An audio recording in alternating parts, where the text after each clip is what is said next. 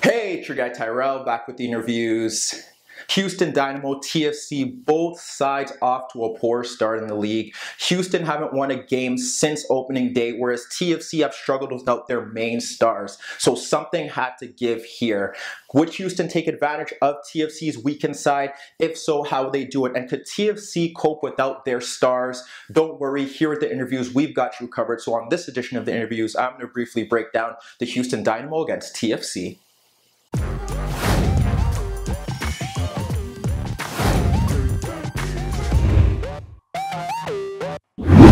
So Houston Dynamo TFC, both sides looking to get back to winning ways. Houston haven't won a game since opening day, whereas TFC have been inconsistent throughout the league solely because they focused on the CONCACAF Champions League. Here, this was a great opportunity for both sides to kind of get on a great foot and kind of start to push for a playoff challenge. You look at the board, we got TFC in the red, we got Houston in the blue, TFC in a 3-5-2, Ricketts and Hamilton up front in midfield. They have Chapman, Akeche in front of Fraser, and at wingback, they had Hasler and they had Telfer. For Houston Dynamo 4-2-3-1, they have Manotas up front. Just in behind them was Martinez. On the flanks, you had Quioto and Elis. And in midfield, you had Cerén and Alexander. What went right? What went wrong? We look at TFC, and for the third consecutive game, they concede a goal within the opening five minutes, and it kind of sets the, the tempo of the game. And when you don't have your experienced players available, that is going to kill you. So we look at it how did Houston really get at them? Well, they started with a high press, and TFC's inexperienced backline just couldn't cope, and they made mistake after mistake after mistake. You look at the first opportunity, or what led to the first goal.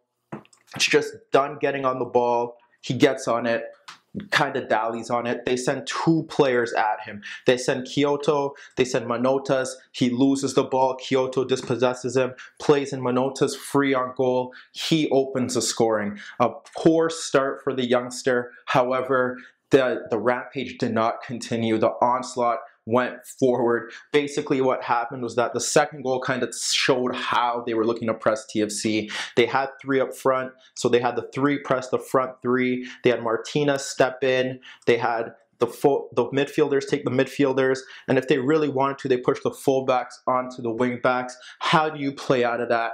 Where's the issue? TFC tried to play out of it, and what happened was that Beasley stepped up and got on the end of of the wingback, dispossessed the ball. Obviously, it led to a corner kick, and from that corner kick, Leonardo put them up to nothing. And that's where TFC, where you look at them and you're thinking, how are they going to go forward? How are they going to get back into this game away from home without their experienced players?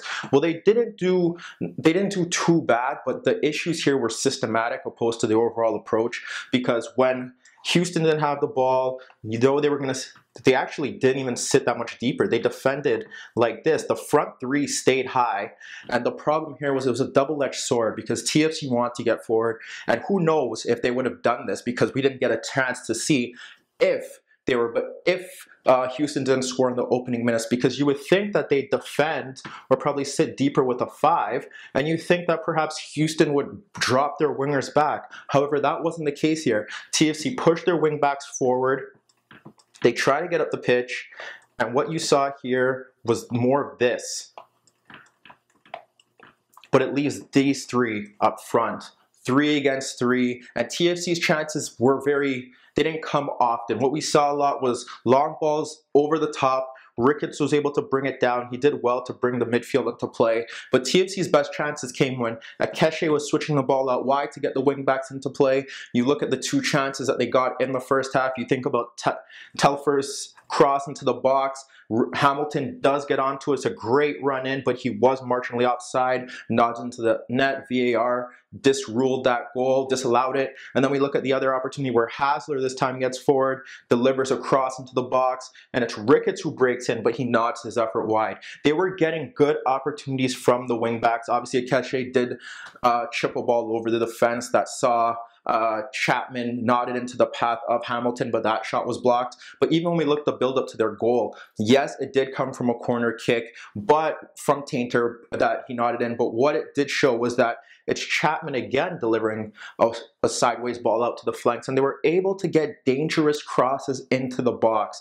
The problem there was that when Houston wanted to break on the counter, the, there was so much space there. And you look at the goals that lead after that, it kind of just systematically shows what went wrong. You look at the chances they did get prior to that, it's just simple Manotas dragging um, Hernandez out of position. Quioto playing a pass into him.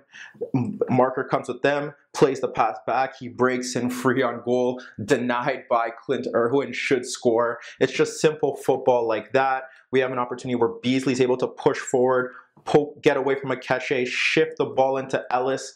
Elis breaks free on goal, also should score, doesn't. He had another opportunity where he got on the ball and fired a shot on Irwin, who pushed it over, pushed it onto the crossbar and it went over the net. But this is what was happening. You had 3v3 you couldn't play out of the back. You're pushing your wing backs forward. They're getting good crosses in, but no one's attacking it. On the other end, when you're down 2 nothing, you have 3v3 against an experienced, inexperienced backline who hasn't played together practically ever and they're not that good against in 1v1 situations against pacey direct runners. You're gonna struggle with all that space there. You had Manota sometimes just dragging out Hernandez out of position trying to get on the ball. There was so much space for Houston's attacking trio to exploit. And in the second half they did that to a T. And it took only like a minute for them to really get going. And the problem is with that TFC were still trying to kind of press from the front.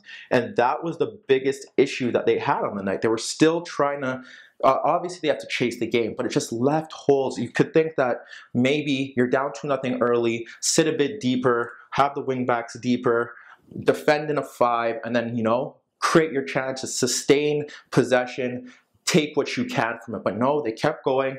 And again, just simple. And they're not even closing them down quick enough. So it's bang. We see them trying to get to Beasley. Beasley sends it out to Quioto, runs past Dunn, gets on the outside, delivers cross into the box. Alexander is making a run in. The ball is obviously cleared, but into the path of Alexander, who pokes his effort into the net. That's 3 nothing. Then Tainter scores from the header, and then they get another opportunity. It's the same play, the same play. Try to close down Beasley, gets it to Quioto. He is not scared to run at Dunn, cuts in on him again. This time it's Elis getting ahead of Telfer not God guides his effort past Irwin. Nothing he could do about it. 4-1, and then the final goal. Yes, changes were made. The game was done, but it just shows the issues that TFC have when they make these lineup changes. It's so there's no real consistency. It's just 11 off, 11 on. No no familiarity, no togetherness, no combinations.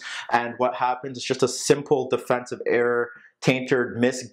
He doesn't even attempt. He does attempt, but he doesn't get his head on a loose ball that no one is challenging him for, sets Quioto in, free on goal, slides his effort past Irwin, 5-1 Houston Dynamo. TFC slowly trotting down the bottom of the Eastern Conference table. Yes, they started so slow last year. Yes, they could turn this around when they play their starting 11, but is it really worth it if they don't win the CONCACAF Champions League final? What will they have to show for this? And as we saw here, it's just systematic errors. Yes, you can say that they played their second side but you expect more from Greg Vanney, a manager who has shown that he deserves to be heralded as one of the better managers in this league, but they just were too open here. It was a bit naive, sit deeper. Yes, you made defensive mistakes, but again, when you have when you leave your defense, inexperienced defense who hasn't played together 3v3 on the counter attack, it's a bold move and they paid the price. But let me know what you guys think. Meet me in the comments below. Don't forget I upload videos every day and don't forget to subscribe to my channel. And that was your daily dose of the InnerViews.